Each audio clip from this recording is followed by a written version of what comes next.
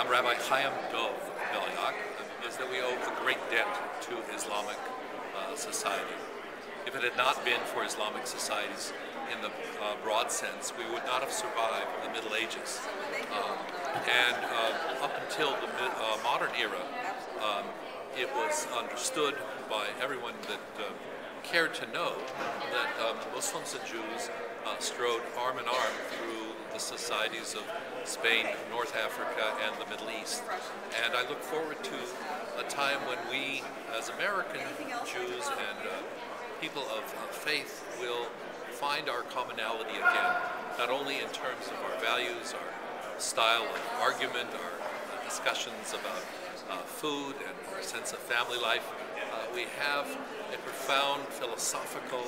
and values point of view uh, that puts us in the same uh, universe of discourse. And so expressions of hate by various parties in the American society, uh, in European society, uh, and is unfortunately in Israeli society are un-Jewish. Uh, they do not reflect our history, they do not reflect our values,